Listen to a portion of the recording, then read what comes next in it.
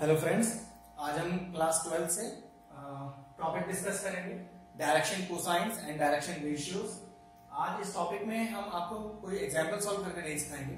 Uh, हम direction cosine क्या होते हैं? रेशियोज क्या होते हैं? कैसे इन्हें फाइंड आउट किया जाता है? पूरा जो कंसेप्ट है वो बताएँगे. तो चलिए देखते हैं क्या है डायरेक्शन कोसाइंस और डायरेक्शन रेशियोज ठीक है? उसके लिए मैं एक चीज़ बना रहा हूँ ध्यान से देखिए.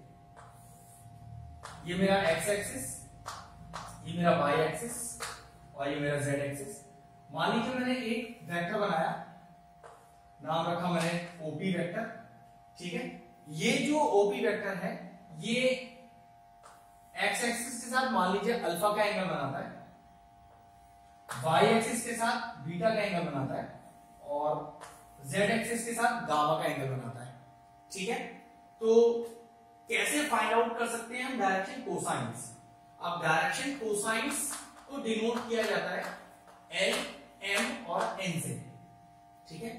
स्मॉल एलिमेंट हमें डायरेक्शन कोसाइंस बताते हैं। ये रिप्रेजेंट करने का तरीका है। और कोसाइन मतलब कॉस थीटा कॉस थीटा का ही फुल फॉर्म होता है कोसाइन ठीक है? तो एल को डिनोट किया जाता है कॉस अल्फ़ा से एम को डिनोट किया जाता है कॉस बीटा से। और एन को डिनोट किया जाता है कॉस गामा से। ठीक है? और ये अल्फ़ा बीटा गामा क्या है?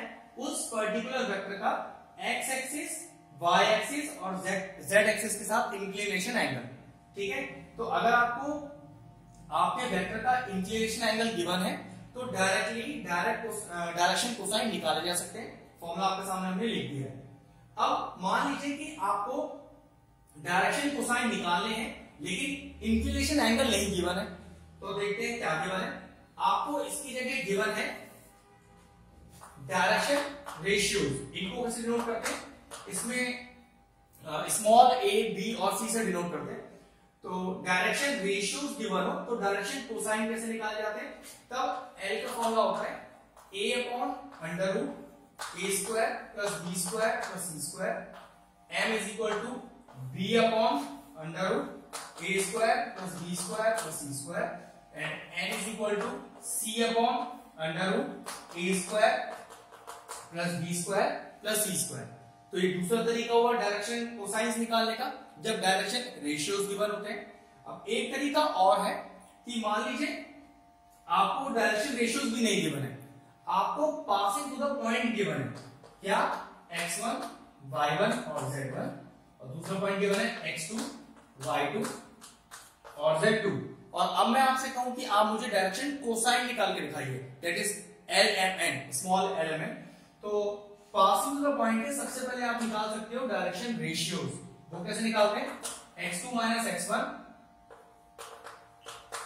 Y two minus Y one and Z two minus Z one तो सबसे पहले आपने अपने डायरेक्शन रेशियोज निकाल लिए। अब जब आपके पास डायरेक्शन रेशियोज आ जाएँगे तो जब डायरेक्शन रेशियोज आ जाएँगे तो डायरेक्शन कोसाइन निकालने का फॉर्मूला हमें पता है।